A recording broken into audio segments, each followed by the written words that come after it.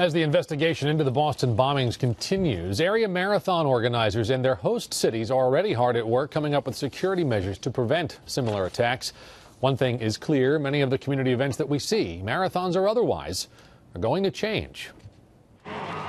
Some refer to the Boston Marathon as the granddaddy of all marathons, but its descendants are many, including races like the Freihofer's Run for Women in Albany and the Turkey Trot in Troy, cities that are already considering ways to step up security. We're not only going to have to look at the mindset of what to do for future races, but we're going to have to look at the events that municipalities commonly host. In Troy, festivals are commonplace. Captain John Cooney says security at such events has been the talk of the department today, and things will change, even at the Turkey Trot. Imagine a run with restrictions on backpacks. A backpack is a runner's number one piece of gear that they come and go with to any event like that. Uh, this will bring huge change uh, and it will also require great tolerance on the part of the public. We rely on them to tell us what to do.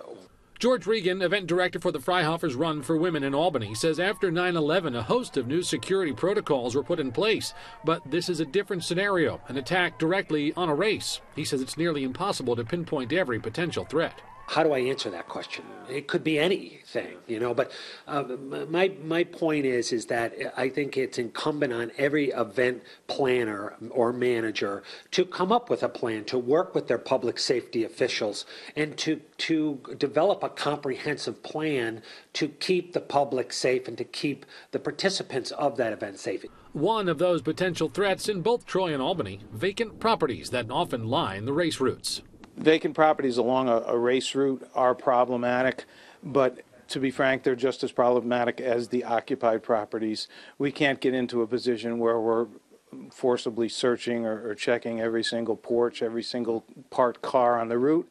It's just not practical for a municipality.